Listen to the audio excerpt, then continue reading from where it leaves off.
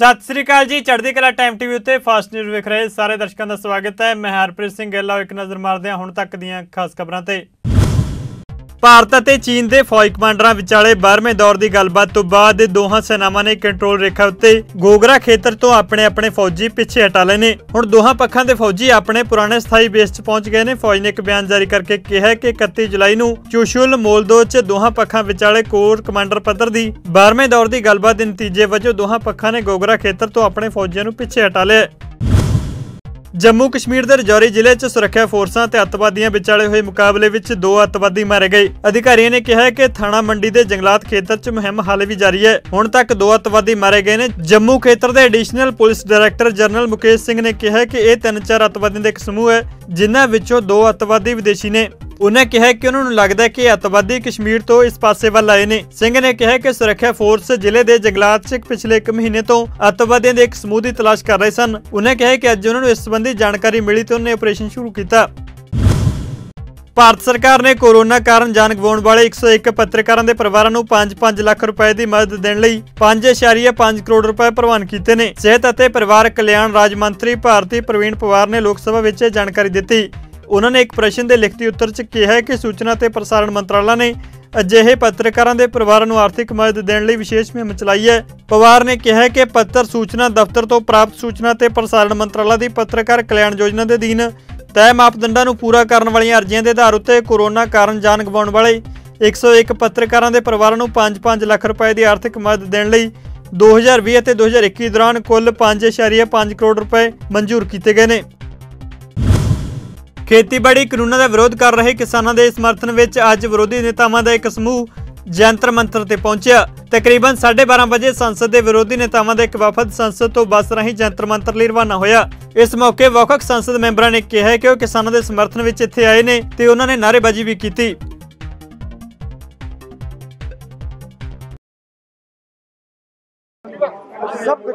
विपक्ष की पार्टीज़ ने मिलकर यहाँ जो किसान की समस्या है और जो ये काले कानून है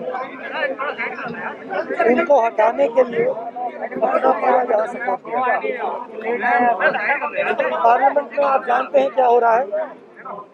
पार्लियामेंट में हम पेगासस की बात करना चाहते हैं। वहाँ पे वो पेगासस की बात नहीं होने दे रहे हैं। नरेंद्र मोदी जी हर हिंदुस्तानी के फ़ोन के अंदर घुस गए हैं। और यहाँ पे हम किसानों को, हिंदुस्तान के सब किसानों को अपना पूरा का पूरा समर्थन दे रहे हैं। हम किसान की लड़ाई पार्लियामेंट के अंदर और बाहर भी लड़ रहे आज उनको हौसला बढ़ाने के लिए हम यहाँ आए हैं और ये लड़ाई हम उनकी लड़ते हैं, लड़ते रहे। लेकिन आए थे लेकिन आपको बोलने नहीं दिया गया। नहीं ये तो पहले ही भी फिक्स था कि नहीं बोलना। हम तो एज ए वो तो कुछ है ही नहीं था बोलने का तो पहले में नहीं था। तो प्रोग्राम अलग थी? अलग क्या यार ये हम सपोर्ट देने आए हैं। बहुत अच्छा, ही अच्छा लगा। हम मैं अच्छा संयुक्त किसान मोर्चा मैं बधाई देना चाहना ਕਿ ਉਹ ਪਾਰਲੀਮੈਂਟ ਬਹੁਤ ਵਧੀਆ ਹੈ ਕਿਸਾਨ ਜਿਹੜੀ ਪਾਰਲੀਮੈਂਟ ਚਲਾ ਰਹੇ ਆ, ਬਹੁਤ ਅੱਛੀ ਚਲਾ ਰਹੇ ਆ।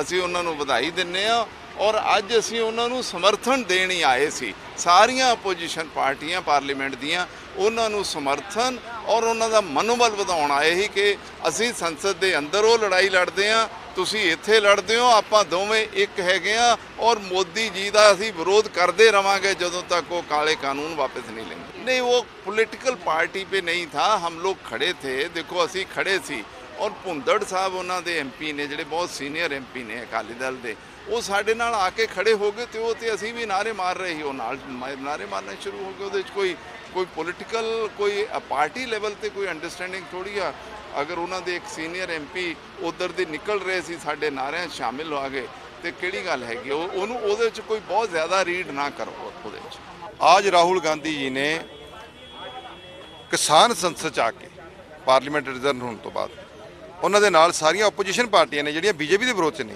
ਇੱਕ ਮੈਸੇਜ ਦਿੱਤਾ ਹੈ ਅਸੀਂ ਲੋਕ ਜਿਨ੍ਹਾਂ ਨੂੰ ਕਿਸਾਨ ਨੇ ਇੱਥੇ ਤੱਕ ਭੇਜਿਆ ਜਿਨ੍ਹਾਂ ਨੂੰ ਮਜ਼ਦੂਰ ਨੇ ਚੁਣ ਕੇ ਭੇਜਿਆ ਜਿਨ੍ਹਾਂ ਨੂੰ ਆਮ ਜਨਤਾ ਨੇ ਭੇਜਿਆ ਅੱਜ ਅਸੀਂ ਸਾਰੇ ਉਹਨਾਂ ਦੇ ਨਾਲ ਖੜੇ ਹਾਂ ਉੱਥੇ ਆ ਕੇ ਰਾਹੁਲ ਗਾਂਧੀ ਜੀ ਸਮੁੱਚੀਆਂ ਆਪੋਜੀਸ਼ਨ ਪਾਰਟੀਆਂ ਦੇ ਲੀਡਰ ਬੈਠੇ ਮੈਂਬਰ ਪਾਰਲੀਮੈਂਟ ਸਾਰੇ ਵੀ ਉਹਨਾਂ ਦੀ ਗੈਲਰੀ 'ਚ ਬੈਠੇ ਔਰ ਉਹਨਾਂ ਦੀ ਕਿਸਾਨ ਸੰਸਦ ਚੱਲਦੀ ਦੇਖੀ। ਅੱਜ ਜਿਹੜਾ ਤਾਨਾਸ਼ਾਹ ਮੋ- ਨਰਿੰਦਰ ਮੋਦੀ ਜੀ ਨੇ ਇੱਕ ਵਤੀਰਾ ਅਪਣਾ ਰੱਖਿਆ। ਪਾਰਲੀਮੈਂਟ 'ਚ ਕੰਮ ਹੋਣ ਨਹੀਂ ਦਿੰਦੇ। ਸਾਡੇ ਜਨਰਲ ਮੋਸ਼ਨ ਸਵੀਕਾਰ ਨਹੀਂ ਕਰਦੇ। ਨਾ ਕਿਸਾਨ ਦੇ ਮੁੱਦੇ ਤੇ ਗੱਲ ਕਰਨਾ ਚਾਹੁੰਦੇ, ਨਾ ਮਹਿੰਗਾਈ ਦੇ ਮੁੱਦੇ ਤੇ, ਨਾ ਪੈਕਸਿਸ ਦੇ ਕਿਸੇ ਮੁੱਦੇ ਤੇ ਗੱਲ ਨਹੀਂ ਕਰਨਾ ਚਾਹੁੰਦੇ। ਅੱਜ ਨਰਿੰਦਰ ਮੋਦੀ ਜੀ ਦੇ ਅੰਗੇਸਟ ਜੇ ਕਿਸਾਨਾਂ ਨੂੰ ਸੰਸਦ ਚਲਾਉਣੀ ਪਈ ਤੇ ਬਹੁਤ ਵੱਡੀ ਗੱਲ ਹੈ, ਬਹੁਤ ਵੱਡੀ ਗੱਲ ਹੈ।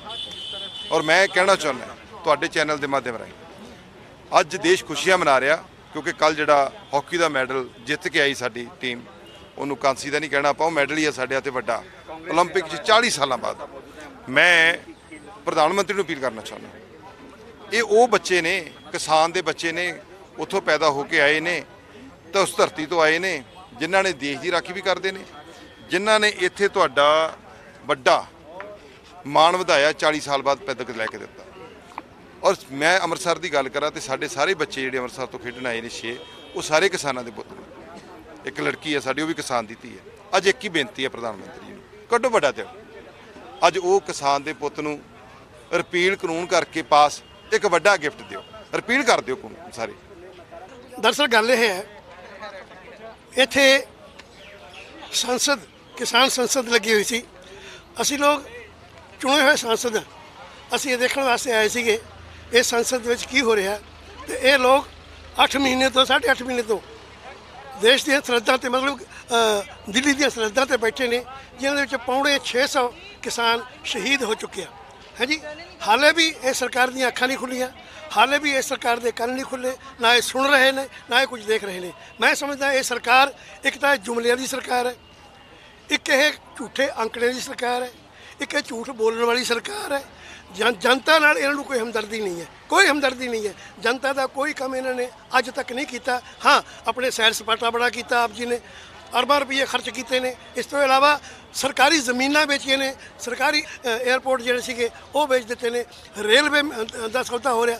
ਤਾਂ ਮੇਰੇ ਕਹਿਣ ਦਾ ਭਾਵ ਇਹ ਹੈ, ਇਹ ਜਨਤਾ ਦੀ ਸਰਕਾਰ ਨਾ ਹੋ ਕੇ ਕਿਸੇ ਅਮੀਰਾਂ ਦੀ ਸਰਕਾਰ ਹੈ। ਮੈਂ ਤਾਂ ਇਹ ਨਹੀਂ ਕਹਿ ਸਕਦਾ। ਲੇਕਿਨ ਸਾਬਕਾ ਕੇਂਦਰੀ ਮੰਤਰੀ ਹਰਸਿਮਰਤ ਕੌਰ ਬਾਦਲ ਨੇ ਕਾਂਗਰਸ ਪਾਰਟੀ ਨੂੰ ਕਿਹਾ ਹੈ ਕਿ ਉਹ ਕਿਸਾਨਾਂ ਨੂੰ ਦੱਸੇ ਕਿ ਉਹ ਸੰਸਦ ਦੇ ਬਾਹਰ ਕਿਸਾਨ ਹਮਾਇਤੀ ਹੋਣ ਦਾ ਡਰਾਮਾ ਕਿਉਂ ਕਰ ਰਹੀ ਹੈ।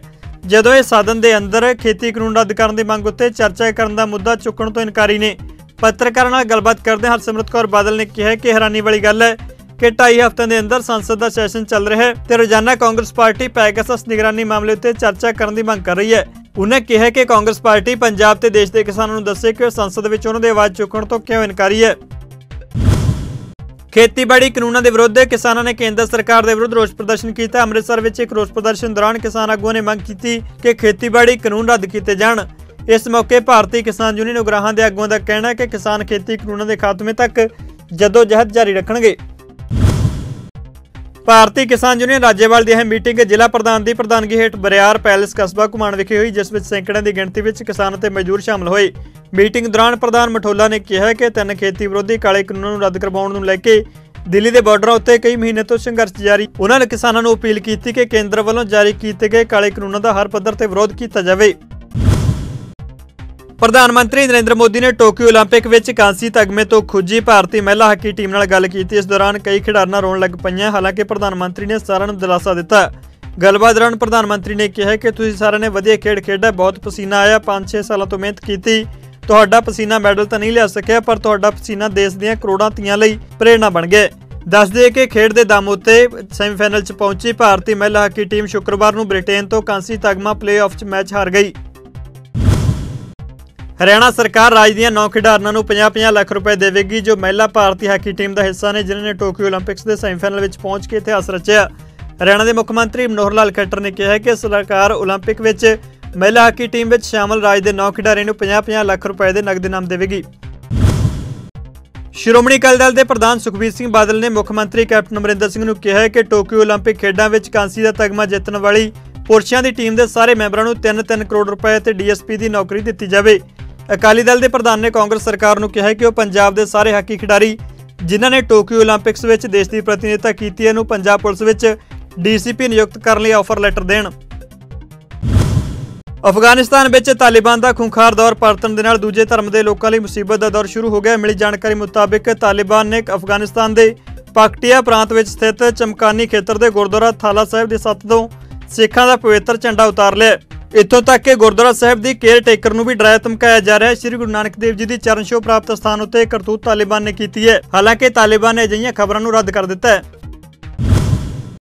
ਸ਼੍ਰੋਮਣੀ ਗੁਰਦੁਆਰਾ ਪ੍ਰਬੰਧਕ ਕਮੇਟੀ ਦੇ ਪ੍ਰਧਾਨ ਬੀਬੀ ਜਗੀਰ ਕੌਰ ਨੇ ਕਿਹਾ ਹੈ ਕਿ ਗੁਰਦੁਆਰਾ ਸ੍ਰੀ ਕਰਤਾਰਪੁਰ ਸਾਹਿਬ ਦਾ ਲਾਂਘਾ ਮੁੜ ਖੋਲਣ ਦੇ ਨਾਲ-ਨਾਲ ਭਾਰਤ ਅਤੇ ਪਾਕਿਸਤਾਨ ਦੀਆਂ ਸਰਕਾਰਾਂ ਨੂੰ ਸ੍ਰੀ ਗੁਰੂ ਨਾਨਕ ਦੇਵ ਜੀ ਦੇ ਪ੍ਰਕਾਸ਼ ਸਥਾਨ ਗੁਰਦੁਆਰਾ ਸ੍ਰੀ ਨਨਕਾਣਾ ਸਾਹਿਬ ਦੇ ਖੁੱਲੇ ਦਰਸ਼ਨ ਦੀਦਾਰ ਕਰਨ ਦੀ ਵੀ ਸੰਗਤ ਨੂੰ ਇਜਾਜ਼ਤ ਦੇਣ ਬਾਰੇ ਵਿਚਾਰ ਕਰਨਾ ਚਾਹੀਦਾ ਹੈ। ਸ਼੍ਰੋਮਣੀ ਕਮੇਟੀ ਦਫ਼ਤਰ ਵਿਖੇ ਗੱਲਬਾਤ ਕਰਦਿਆਂ ਬੀਬੀ ਜਗੀਰ ਕੌਰ ਨੇ ਕਿਹਾ ਕਿ ਕੋਰੋਨਾ ਕਾਰਨ ਬੰਦ ਹੋਇਆ। ਸ੍ਰੀ ਕਰਤਾਰਪੁਰ ਸਾਹਿਬ ਦਾ ਲਾਂਘਾ ਖੋਲਣ ਲਈ ਦੋਹਾਂ ਦੇਸ਼ਾਂ ਨੂੰ ਸਿਰ ਜੋੜ ਕੇ ਫੈਸਲਾ ਕਰਨਾ ਚਾਹੀਦਾ ਹੈ, ਕਿਉਂਕਿ ਹੁਣ ਕੋਰੋਨਾ ਦੀਆਂ ਪਾਬੰਦੀਆਂ ਲਗਭਗ ਖਤਮ ਹੋਣ ਕਿਨਾਰੇ ਨੇ। ਬੀਬੀ ਜਗੀਰ ਕੌਰ ਨੇ ਅਫਗਾਨਿਸਤਾਨ ਅੰਦਰ ਤਾਲਿਬਾਨ ਵੱਲੋਂ ਇੱਕ ਗੁਰਦੁਆਰਾ ਸਾਹਿਬ ਵਿੱਚੋਂ ਨਿਸ਼ਾਨ ਸਾਹਿਬ ਉਤਾਰਨ ਦੀ ਵੀ ਸਖਤ ਨਿੰਦਾ ਕੀਤੀ ਹੈ। ਉਹਨਾਂ ਭਾਰਤ ਸਰਕਾਰ ਨੂੰ ਅਪੀਲ ਕੀਤੀ ਕਿ ਅਫਗਾਨਿਸਤਾਨ ਵਿੱਚ ਸਿੱਖਾਂ ਦੇ ਪਾਵਨ ਸਥਾਨ ਅਤੇ ਉੱਥੇ ਵਸਦੇ ਸਿੱਖਾਂ ਦੀ ਸੁਰੱਖਿਆ ਯਕੀਨੀ ਬਣਾਈ ਜਾਵੇ।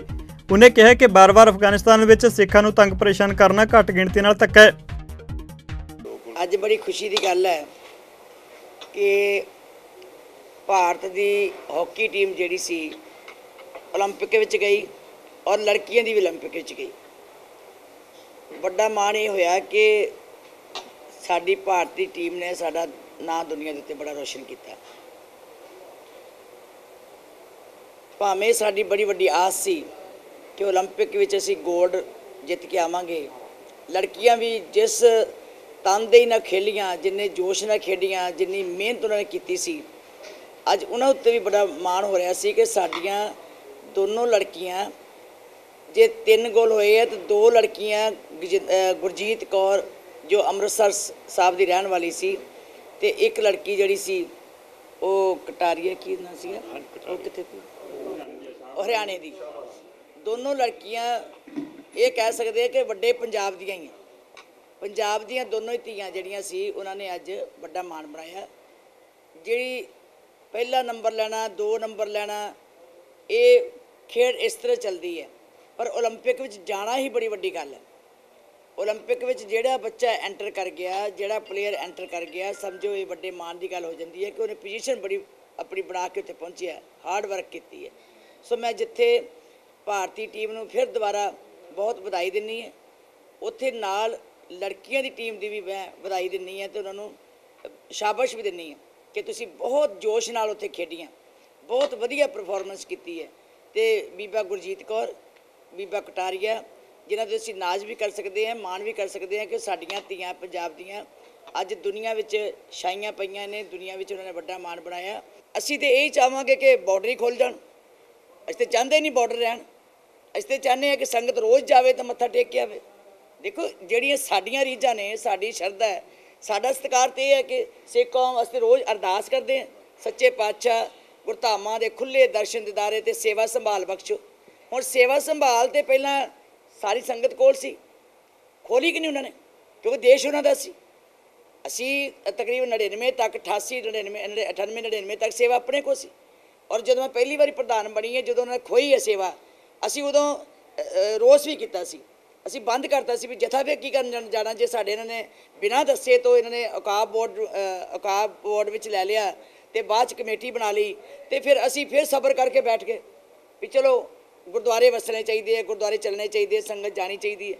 ਔਰ ਜੇ ਅਸੀਂ ਸ਼ਾਇਦ ਉਦੋਂ ਪ੍ਰੈਸ਼ਰ ਦਿੱਤਾ ਹੁੰਦਾ, ਨਾ ਅਸੀਂ ਇਹ ਗੱਲ ਨੂੰ ਮੰਨਦੇ ਤੇ ਸ਼ਾਇਦ ਉਸ ਵੇਲੇ ਇਸ ਉਹ ਵੀ ਦੇਸ਼ ਮਜਬੂਰ ਹੁੰਦਾ ਕਿ ਇਹਨਾਂ ਨੂੰ ਜਿੱਦਾਂ ਪਹਿਲਾਂ ਜੇ ਸ਼੍ਰੋਮਣੀ ਗੁਰਦੁਆਰਾ ਪ੍ਰਬੰਧਕ ਕਮੇਟੀ ਜਾਂਦੀ ਸੀ, ਉੱਥੇ ਜਾ ਕੇ ਸੇਵਾ ਸੰਭਾਲ ਕਰਦੀ ਸੀ, ਜਾ ਕੇ ਸਾਰੇ ਕੰਮ ਕਰਦੀ ਸੀ, ਉੱਥੇ ਆਪਣੀ ਗੁਰਦੁਆਰਾ ਸਾਹਿਬ ਦੀ ਜੋ ਵੀ ਉੱਥੇ ਖਰਚੇ ਵੀ ਕਰਨੇ ਕੰਮ ਵੀ ਕਰਕੇ ਆਉਣਾ, ਤੇ ਉਹ ਫਿਰ ਅਸੀਂ ਤਾਂ ਉਹੀ ਮੰਗਦੇ ਆ ਅੱਜ ਵੀ ਮੰਗਦੇ ਆ ਕਿ ਸ਼੍ਰੋਮਣੀ ਗੁਰਦੁਆਰਾ ਪ੍ਰਬੰਧਕ ਕਮੇਟੀ ਦੇ ਉਹ ਸਥਾਨ ਨੇ, ਗੁਰਧਾਮ ਸਾਡੇ ਤੋਂ ਵਿਛੜ ਗਏ ਹੈ, ਸੰਗਤਾਂ ਅੱਜ ਤੱਕ ਅਰਦਾਸਾਂ ਕਰਦੀ ਹੈ ਇਹੀ ਅਰਦਾਸ ਹੈ ਨਾ ਸੱਚੇ ਪਾਤਸ਼ਾਹ ਖੁੱਲੇ ਦਰਸ਼ਨ ਦੇਦਾ ਤੇ ਸੇਵਾ ਸੰਭਾਲ ਬਖਸ਼ੋ।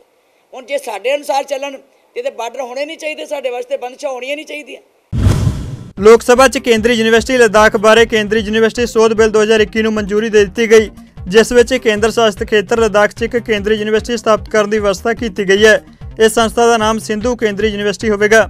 ਕੇਂਦਰੀ ਸਿੱਖਿਆ ਮੰਤਰੀ ਧਰਮੇਂਦਰ ਪ੍ਰਧਾਨ ਨੇ ਕੇਂਦਰੀ ਯੂਨੀਵਰਸਿਟੀ ਸੋਧ ਬਿੱਲ 2021 ਨੂੰ ਚਰਚਾ ਤੇ ਪਾਸ ਕਰਨ ਲਈ ਰੱਖਦੇ ਹੋਏ ਕਿਹਾ ਕਿ ਪ੍ਰਧਾਨ ਮੰਤਰੀ ਨਰਿੰਦਰ ਮੋਦੀ ਨੇ ਪਿਛਲੇ ਸਾਲ 15 ਅਗਸਤ ਨੂੰ ਐਲਾਨ ਕੀਤਾ ਸੀ ਕਿ ਲਦਾਖ 'ਚ ਕੇਂਦਰੀ ਯੂਨੀਵਰਸਿਟੀ ਸਥਾਪਿਤ ਕੀਤੀ ਜਾਵੇਗੀ।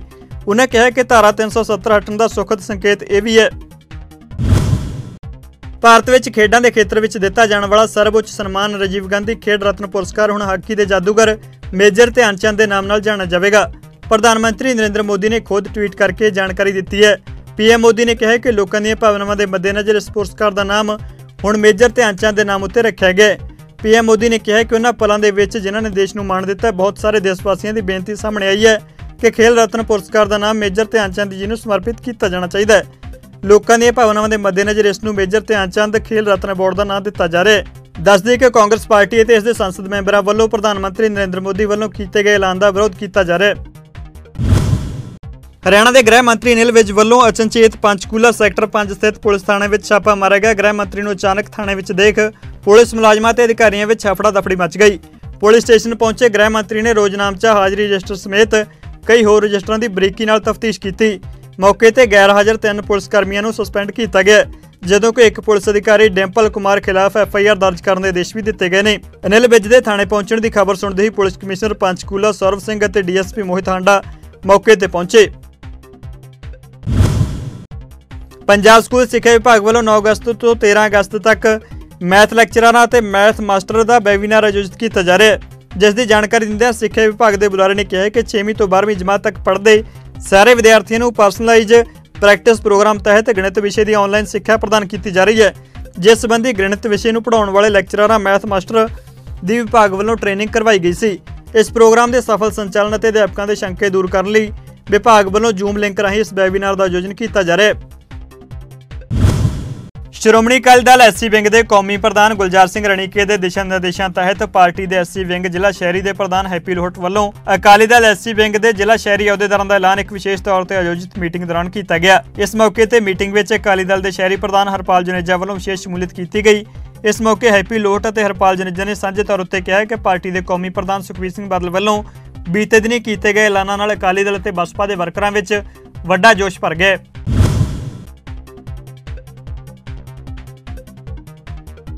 ਸੰਦੀਪ ਸਿੰਘ ਢਾਲੀਵਾਲ ਅਮਰੀਕਾ ਦੇ ਟੈਕਸਾਸ ਸੂਬੇ ਦੇ ਚਰਚਿਤ ਸ਼ਹਿਰ ਹਿਊਸਟਨ ਦੀ ਸਭ ਤੋਂ ਵੱਡੀ ਕਾਉਂਟੀ ਵਿਖੇ ਇੱਕ ਸ਼ੈਰਿਫ ਵਜੋਂ ਸੇਵਾ ਨਿਭਾਉਣ ਵਾਲਾ ਪਹਿਲਾ ਦਸਤਾਰਧਾਰੀ ਸਿੱਖ ਨੌਜਵਾਨ ਸੀ, ਜਿਸ ਨੂੰ 2019 ਵਿੱਚ ਸੇਵਾ ਨਿਭਾਉਂਦਿਆਂ ਨਸਲੀ ਵਿਤਕਰੇ ਦੇ ਤਹਿਤ ਉੱਥੋਂ ਦੇ ਇੱਕ ਵਿਅਕਤੀ ਵੱਲੋਂ ਗੋਲੀਆਂ ਮਾਰ ਕੇ ਸ਼ਹੀਦ ਕਰ ਦਿੱਤਾ ਗਿਆ।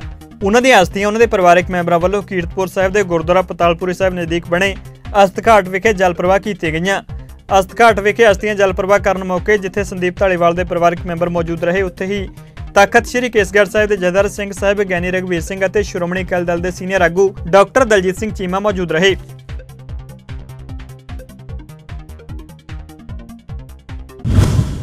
ਆਮ ਜਨਤਾ ਨੂੰ ਸਹੂਲਤ ਲਈ ਲਗਾਈਆਂ ਜਾ ਰਹੀਆਂ ਲੋਕ ਅਦਾਲਤਾਂ ਦੀ ਲੜੀ ਵਿੱਚ ਮੈਂਬਰ ਸਕੱਤਰ, ਪੰਜਾਬ ਰਾਜ ਕਾਨੂੰਨੀ ਸੇਵਾਵਾਂ ਅਥਾਰਟੀ ਐਸਐਸ ਨਗਰ ਮੁਹਾਲੀ ਅਤੇ ਜ਼ਿਲ੍ਹਾ ਤੇ ਸੈਸ਼ਨ ਜੱਜ, ਕਮ ਚੇਅਰਮੈਨ ਜ਼ਿਲ੍ਹਾ ਕਾਨੂੰਨੀ ਸੇਵਾਵਾਂ ਅਥਾਰਟੀ ਮੋਗਾ ਮਨਦੀਪ ਪੰਨੂ ਜੀ ਦੀ ਰਹਿਨੁਮਾਈ ਵਿੱਚ 11 ਸਤੰਬਰ 2021 ਨੂੰ ਰਾਸ਼ਟਰੀ ਲੋਕ ਅਦਾਲਤ ਲਾਈ ਜਾਵੇਗੀ।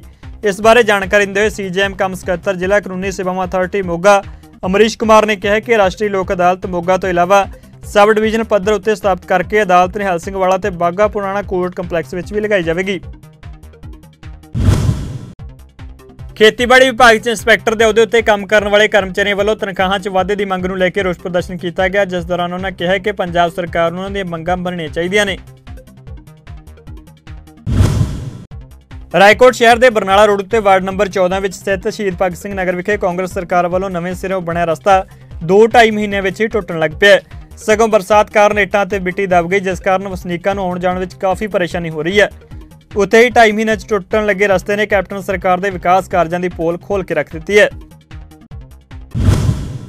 ਜ਼ਿਲ੍ਹਾ ਤਰਨਤਾਰਨ ਦੇ ਐਸਐਸਪੀ ਦੇ ਦਿਸ਼ਾ ਨਿਰਦੇਸ਼ਾਂ ਉੱਤੇ ਪੁਲਿਸ ਨੂੰ ਉਸ ਵੇਲੇ ਵੱਡੀ ਸਫਲਤਾ ਮਿਲੀ ਜਦੋਂ ਵਲਟੋਹਾ ਪੁਲਿਸ ਨੇ 500 ਗ੍ਰਾਮ ਹੈਰੋਇਨ ਸਮੇਤ ਦੋ ਵਿਅਕਤੀਆਂ ਨੂੰ ਕਾਬੂ ਕਰਨ ਦਾ ਦਾਅਵਾ ਕੀਤਾ।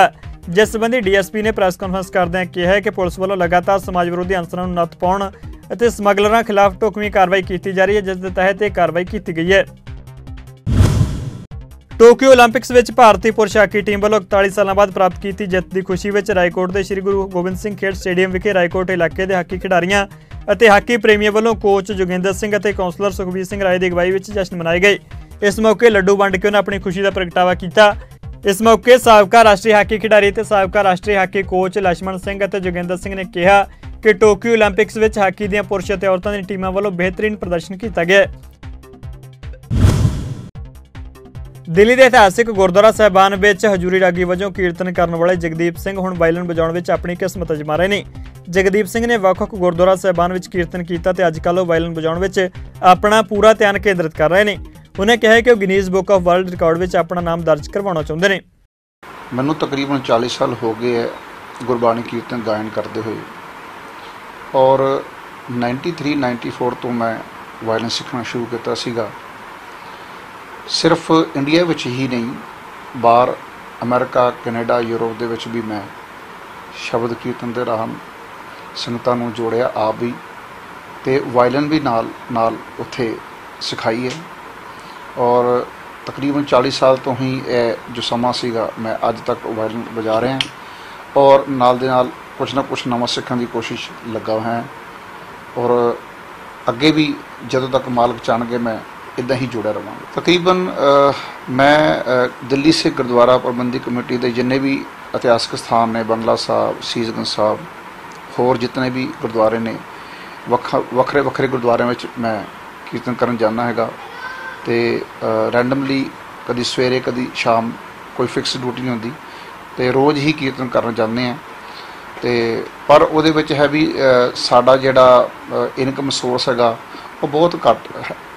ਜਿੱਦਾਂ ਅਸੀਂ ਕਹਿ ਲਈਏ ਵੀ ਫਾਈਨੈਂਸ਼ੀਅਲੀ ਸਾਨੂੰ ਸਪੋਰਟ ਪੂਰੀ ਨਹੀਂ ਹੋ ਪਾਉਂਦੀ, ਕਿਉਂਕਿ ਖਰਚੇ ਬਹੁਤ ਜ਼ਿਆਦਾ ਨੇ, ਪਰ ਉਨੀ ਸਹੂਲੀਅਤ ਨਹੀਂ ਹੈਗੀ। ਆਣਾ ਜਾਣਾ ਖਰਚੇ ਬਹੁਤ ਹੋ, ਹੋਣ ਕਰਕੇ, ਇਹ ਵੈਸੇ ਵੀ ਕੋਵਿਡ ਕਰਕੇ ਜੋ ਸਿਚੁਏਸ਼ਨ ਬਣ ਗਈ ਹੈ, ਤੇ ਉਹਦੇ ਕਰਕੇ ਹੋਰ ਵੀ ਪਰੇਸ਼ਾਨੀਆਂ ਸਾਨੂੰ ਫੇਸ ਕਰਨੀ ਪੈਂਦੀਆਂ।